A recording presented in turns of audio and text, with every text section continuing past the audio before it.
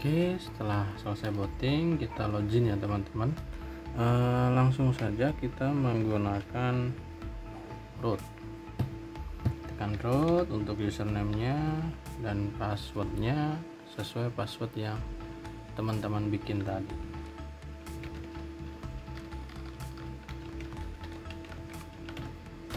Oke, oke, kita berhasil login. Selanjutnya, untuk mengetahui IP awal uh, eh, STB kita atau Arambian ini uh, secara default Arambian ini akan uh, settingannya adalah DHCP di mana dia akan menerima IP dari router secara langsung. Uh, boleh kita coba setelah kita uh, connect ke internet tadi kita masukkan ke LAN kita cek aja uh, koneksi ke internet coba ya ketikkan ping spasi gateway-nya Google 1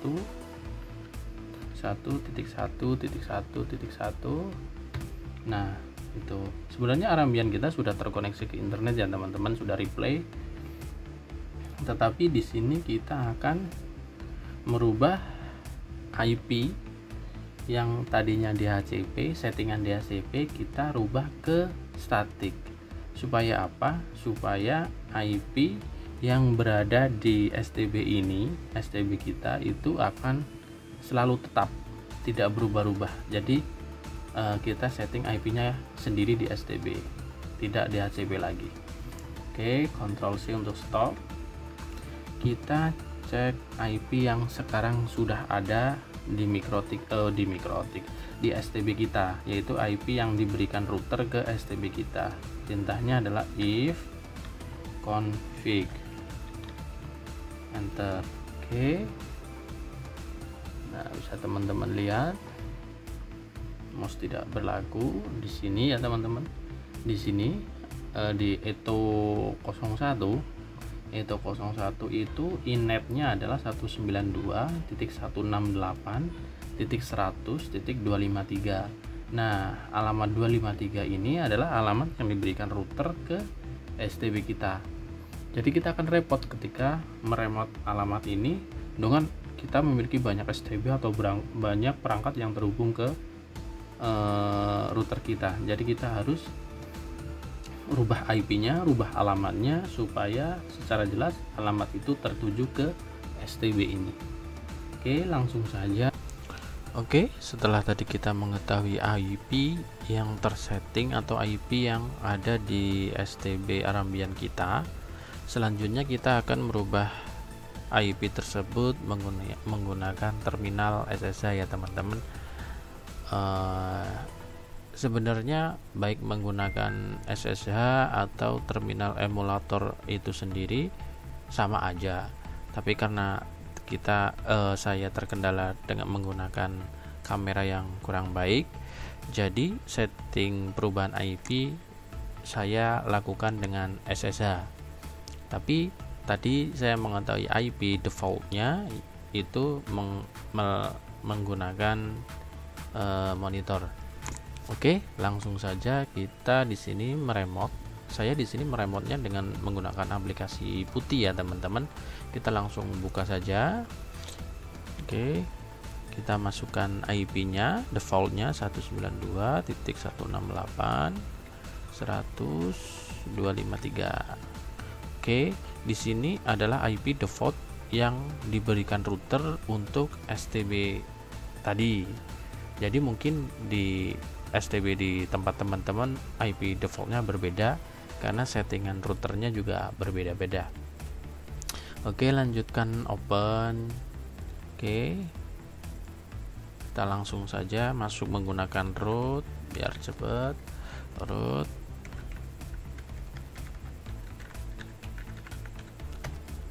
oke kita sudah masuk ya. Uh, kita cek koneksi ping satu.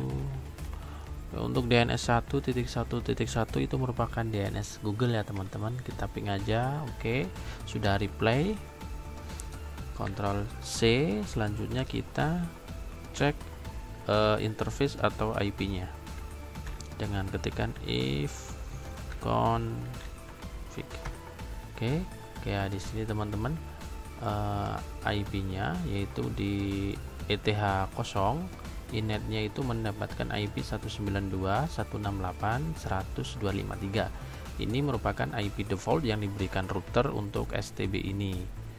Oke sekarang kita akan rubah IP ini menjadi IP statik di mana dengan IP statik itu IP yang ada di router ini itu tidak berubah-ubah dan tentunya dengan seperti itu IP itu tidak akan diberikan router ke perangkat yang lain selagi uh, root, uh, arambian kita atau STB kita masih hidup. Oke langsung saja kita ketikkan perintahnya. Nano spasi garis miring etc garis miring network garis miring interface. Enter. Nah oke okay, di sini uh, akan sedikit saya jelaskan ya teman-teman. Jadi di sini kita akan merubah DHCP ini menjadi statik. Tapi sebelumnya kita juga harus mengoffkan atau mematikan di sini ada no auto down itu jadi di sini ada yang depan tanda pagar itu artinya fitur ini off. Ketika ini enggak ada tanda pagar maka fitur ini on. Allow hot allow hot plung itu 01 itu kosong. Ini artinya memberikan uh, akses otomatis kepada itu ketika ditancapkan LAN atau dihubungkan ke internet. Ketika ini kita depannya kita kasih tanda pagar otomatis ketika kita tancapkan LAN maka eh, pot ini atau interface ini juga tidak tidak akan aktif. Oke di sini yang pertama kita kasih tanda pagar untuk no.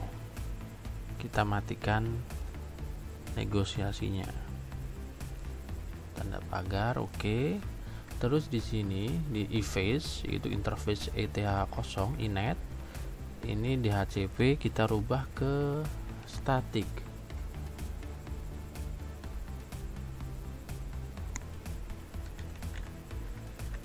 static dan selanjutnya seperti tadi kita rubah IP nya saya akan rubah uh, eh, STB ini dengan IP 100 mana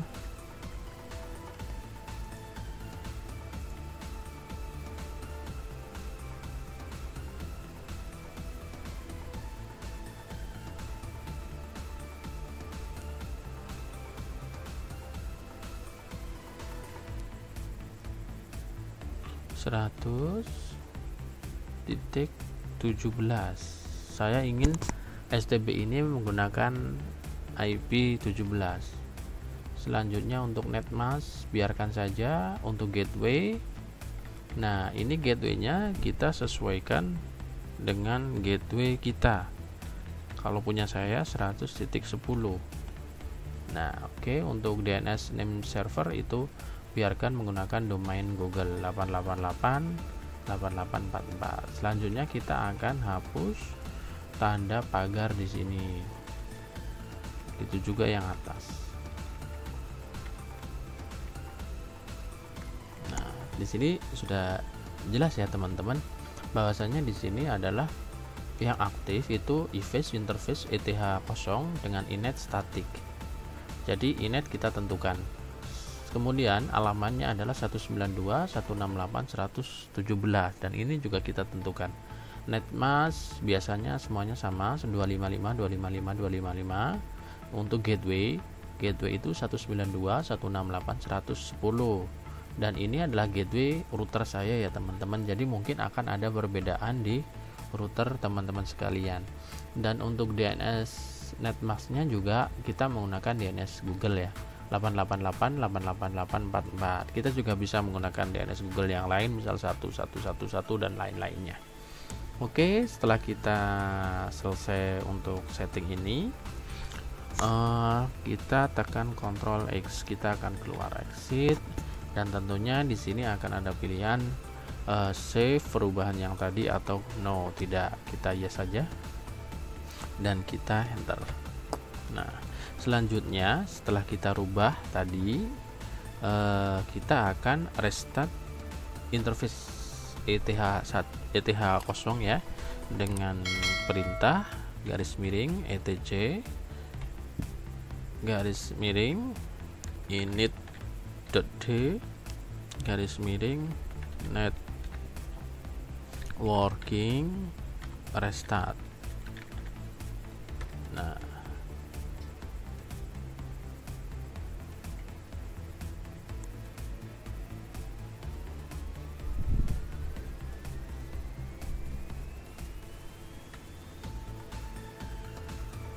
Oke kita tunggu restarting. Kayaknya setelah restart IP nya langsung berubah dan putih kita langsung disconnect. Kita bisa cek untuk lebih mudah. Itu maksudnya itu memang wajar karena IP kita dirubah. Nah di sini ada network error yaitu putih kita aplikasi SSH kita langsung disconnect karena kita tadi meremote ini dengan uh, IP 253 sedangkan IP itu 253 itu kita rubah menjadi 17 oke itu enggak bukan sebuah masalah kita close saja. Dan kita masuk lagi dengan IP yang baru 192.168 117 kita enter.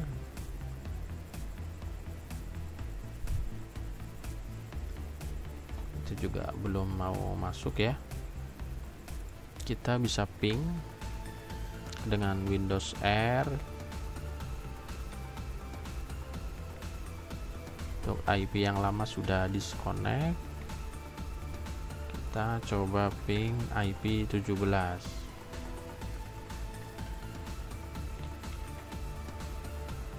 itu juga disconnect. Itu apa teman-teman? Kita membutuhkan reboot. Sedangkan SS apa STB ini sudah tidak bisa direpot menggunakan putih. Otomatis kita off kan dulu dan kita nyalakan ulang STB kita. Oke. Saya cabut kabel power di STB dan saya masukkan lagi.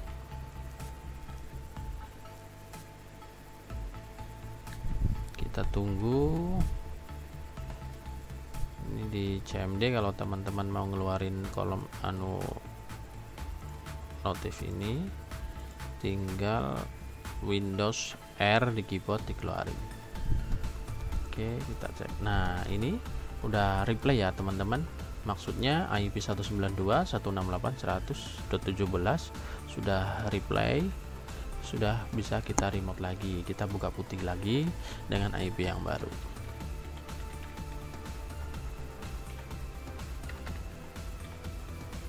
Oke, nah kalau ada notif seperti ini kita accept aja, kita masuk, masukkan root, passwordnya. Oke, kita sudah replay atau kita sudah masuk ke arambian kita. Jadi eh, tidak semua STB itu dia akan berubah IP-nya setelah kita rubah tentunya hanya dengan merestart interface banyak STB-STB Arambian ketika kita rubah tapi IP-nya tidak mau berubah atau belum mau berubah. Kalau kita belum reboot perangkatnya atau unitnya secara manual bisa kita matikan dan kita hidupkan lagi. Seperti STB saya ini dia itu tidak mau berubah IP-nya bahkan ketika kita rubah dan kita restart interface-nya semua IP yang kita masukkan itu tidak bisa terkoneksi ke komputer kita. Jadi kita perlu reboot ulang secara manual. Itu cuma sekali di awal saja. Selanjutnya kita tidak perlu reboot itu. Oke kita cek IP nya if config enter. Nah di sini IP yang tadinya 192.168.117 sudah berganti menjadi 192.168.117 tadinya bukan 17 ya teman-teman maaf. Tadinya adalah 253 di sini ada netmasknya ada broadcastnya sama. Oke. Kita coba ping ke internet ping DNS nya 8.8.8.8 enter sudah replay ya teman-teman. Koneksinya bagus cuma dua digit oke kita close. Ctrl C. Oke kiranya video kali ini cukup sekian. Buat teman-teman kalau masih ada yang bingung bisa ditanyakan ke kolom komentar. Dan apabila membutuhkan file-file atau bahan-bahan untuk root stb atau install arambian filenya bisa diunduh di kolom deskripsi tentunya uh, tentunya dengan subscribe dan komen. Oke okay? cukup sekian dari saya. Banyak salah kata saya mohon maaf yang sebesar-besarnya. Terima kasih